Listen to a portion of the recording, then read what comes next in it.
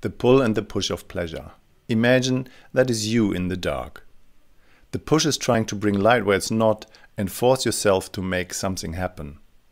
The push of pleasure would be you want the pleasure everywhere where it's not left hand, upper corner, or the back of your legs, your chest, or when somebody's touching you, the way how you should feel pleasure somewhere where they think it's best for you.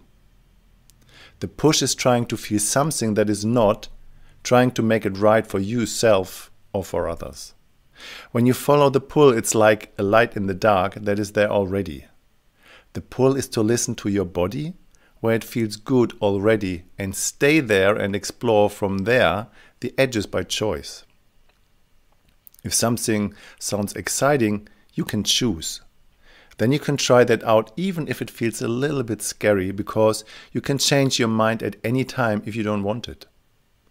The pull is noticing your impulses, trusting and following them by your choice.